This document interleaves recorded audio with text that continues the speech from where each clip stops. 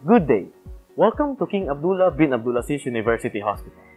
On this e-learning manual, you are going to learn about the peripheral intravenous cannulation practices here in our hospital. This is in collaboration with the Infection Control Department, Evidence-Based Practice, and Nursing Education Unit. This video is a step-by-step -step guide of peripheral intravenous cannulation here in our hospital.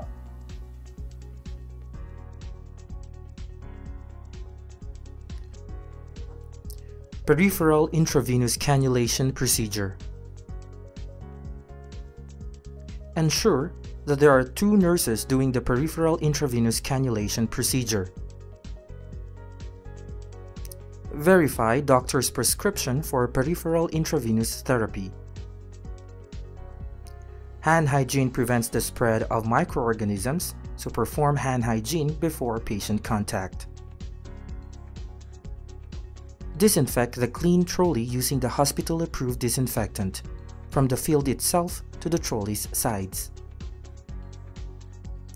Verify the correct patient using two identifiers. Collect and gather the necessary supplies equipment. Check the solution and device, integrity and the expiration. Explain the procedure to the patient. Assess for clinical factors experience with IVT, placement preference, and catheter gauge to be used. Provide privacy to the patient.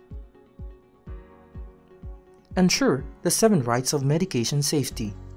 Medication, dose, time, route, patient, refusal, and documentation. Prepare the prescribed intravenous solution and prime the tubing cover the end of the tubing. Raise bed to comfortable working height and position for the patient. Adjust lighting. Position patient's arm below heart level. Apply tourniquet 2.5 inches above the selected site and choose the appropriate vein, then release the tourniquet. Clean area of insertion site using saline or soap and water if surrounding site is soiled with blood and dirt. Perform hand hygiene, don eye protection and mask as appropriate. Maintain no-touch technique. Open all sterile packaging using sterile technique. Put in the clean trolley.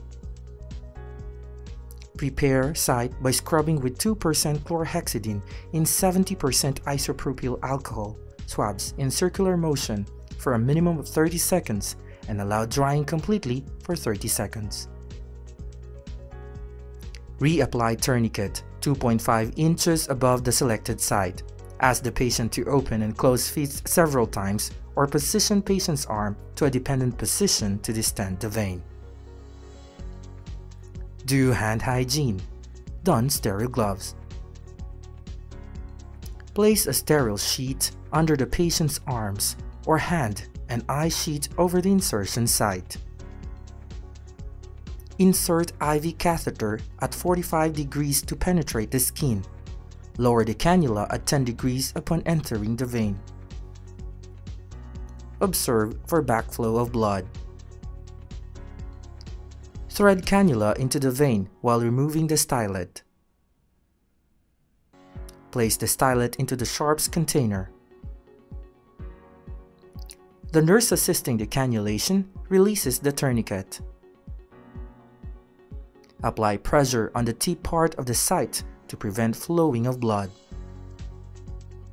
Remove eye sheet. Connect the end of the extension tubing connected to a pre-filled syringe of normal saline. Flush slowly to check for patency. Connect the end of extension tubing to prepared intermittent IV device. Apply IV placement stabilization either with sterile tapes or transparent semi-permeable membrane dressing. Label the inserted cannula with tape, date, and time of insertion, and initials of the nurse who inserted it. Calculate infusion rate and regulate the flow rate. Observe patient and report any untoward effect. Position patient comfortably on bed. Tell patient how to move or turn without dislodging the venous access device. Discard supplies, remove gloves, and perform hand hygiene. Document the procedure in patient's record. The date and time, type and solution, additives and dosages flow rate, gauge, length, and type of vascular access devices, catheter insertion site.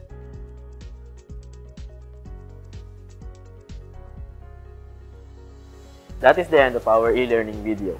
If you have any questions and suggestions, don't hesitate to give your feedbacks on the link below. Thank you for listening and welcome to King Abdullah bin Abdulaziz University Hospital.